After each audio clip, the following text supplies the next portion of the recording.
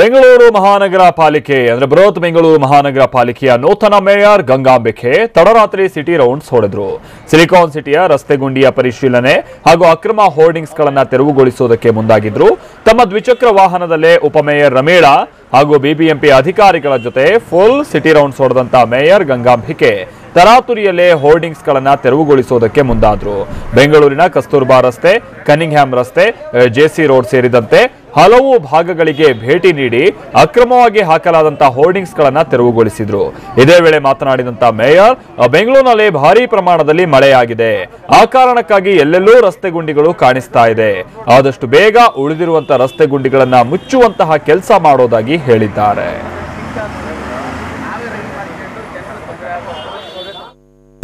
Illegal ಓಡಿಂಗ್ಸ್ ತೆರವುಗೊಳಿಸೋದು ಒಂದು ಉದ್ದೇಶ ಆದರೆ ರಸ್ತೆ ಗುಂಡಿಗಳು ಯಾವ ರೀತಿಯಲ್ಲಿ ರಿಸ್ಟೋರ್ ಆಗಿದೆ, ಎಷ್ಟು ಗುಂಡಿಗಳು ರಿಸ್ಟೋರ್ ಆಗಬೇಕು, ಅದು ಯಾವ ಥರ ಯಾವ ಕ್ವಾಲಿಟಿಲಿ ಆಗಿದೆ ಅದನ್ನು ಒಂದು ಇನ್ಸ್ಪೆಕ್ಷನ್ ಇದೆ.